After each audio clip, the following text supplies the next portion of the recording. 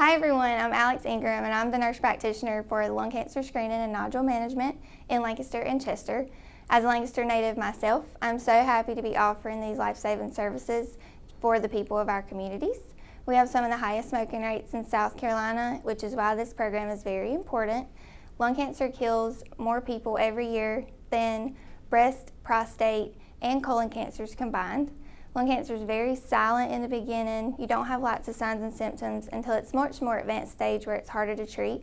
Our goal is to catch these cancers early through screening so that they can be treated.